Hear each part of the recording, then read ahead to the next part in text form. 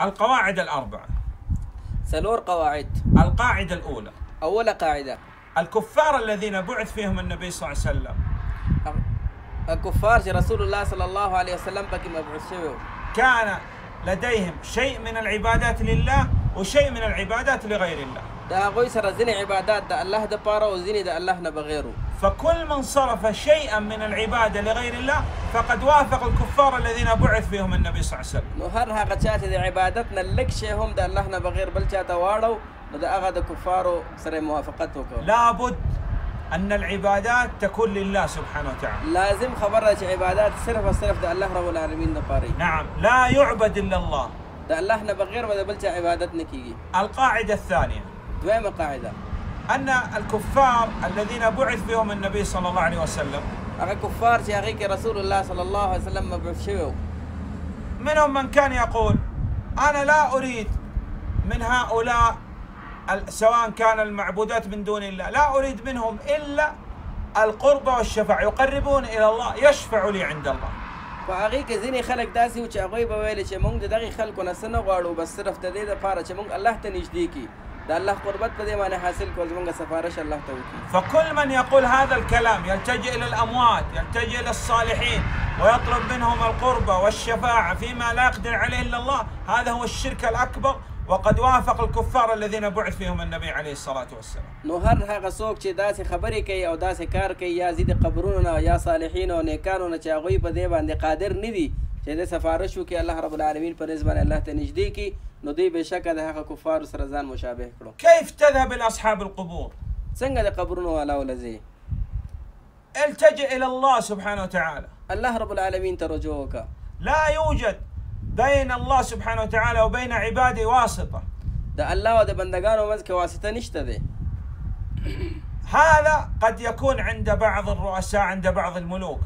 دا سفارشونه کېدای شي ځینې رئیسانو د بادشاهانو په منځ کې وي لكن عند الله سبحانه وتعالى كل من يريد أن يتقرب إلى الله يلتجئ إلى الله مباشرة. لکن د الله رب العالمین په رز باندې چې څوک غواړي الله ته ځان نږدې کړي direct د الله رب العالمین ته دعا وکړي أو الله ته یې رجوع وکړي. القاعدة الثالثة. درېیمه قاعدة. بعض الناس يظن أن الشرك فقط في عبادة الأصنام. ځینې خلک دا ګمان کوي چې شرک صرف دا دی چې د بوتانو عبادت وکړي أما عبادة الأحجار. أو یا د کاڼو عبادت وکړي عبادة الملائكة عليهم السلام. أو یا د ملائکو عبادت وکړي عبادة الأنبياء والرسل عليهم الصلاة والسلام. یا د انبیا أو رسولانو عبادت وکړي يقول هذا ليس دا شرک نه دی سبحان الله. سبحان الله الله سبحانه وتعالى ذكر في كتابه والنبي صلى الله عليه وسلم ذكر في أحاديث كثيرة. أن الله سبحانه وتعالى كفر من يعبد الأحجار والأشجار والشمس والقمر والملائكة والأنبياء والرسل عليهم الصلاة والسلام. الله رب العالمین قرآن کې هم ذکر کړی دی أو رسول الله صلی الله علیه وسلم هم بیان کړي چې هر هغه چا چې الله نه بغیر د سپوږمۍ د نور د ستورو د صحابو د رسولانو د هر چا عبادت وکړه کافر شو لم يفرق الله سبحانه وتعالى بين الشرك والشرك. الله رب العالمین د شرک أو شرک په منځ کې فرق نه دی کړی أمر الله سبحانه وتعالى بعبادته ونهى عن الشرك بجميع أنواعه. الله رب العالمین د خپل عبادت حکم کړی دی أو د شرک چې څومره أقسام دي ټولو نه منع کړی ده. القاعدة الرابعة والأخيرة. څلورمه أو اخیری قاعدة. الكفار الذين بعث فيهم النبي عليه الصلاة والسلام. چې هغوی کې رسول الله صلی الله علیه وسلم. كان لديهم شرك في السراء عند النعم يشركون.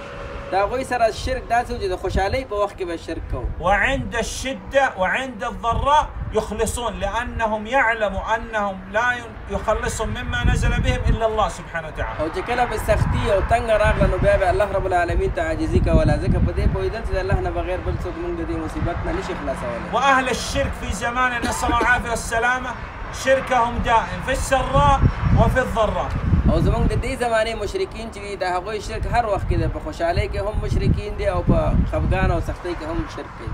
فنقول لهؤلاء توبوا إلى الله.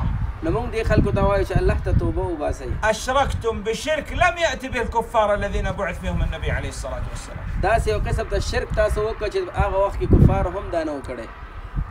هذا فيه التحذير لهؤلاء من الشرك. په دې کې د هغې خلکو دپاره خبرداری أو یره ورکول دي چې د شرک نه لرې شي. فلا يمكن أن تصرف العبادة إلا لله. دا ممکنه نه ده چې عبادت بل د الله نه بغیر بل چاته وشي مګر صرف الله ته به عبادت الشفاعة حق لله. شفاعت دا الله حق دی. آه، لا يطلب القرب إلا من الله. به د الله نه بغیر بل چا نه غواړي. لا يمكن أن نحصر الشرك فقط في عبادة الأصنام. دا نشي کېدلی چې شرک صرف د بوتانو پورې خاص کړو يعبد الله ولا يعبد أحد مع الله. د الله عبادت به کوي نور به د هیڅ چا عبادت کوي نفتقر إلى الله في السراء وفي الضراء. الله رب العالمین ته فقیری أو کو په هر څه کې أسأل الله سبحانه وتعالى أن يجنبنا الشرك. الله نه دا دعا کو چې موږ أو تاسو شرک نه وساتي وأن يختم لنا بالتوحيد. أو اخري توحید باندې کوي والله أعلم وصلى الله على نبينا محمد وعلى وصحبه وسلم. الله أعلم وصلى الله على النبي محمد.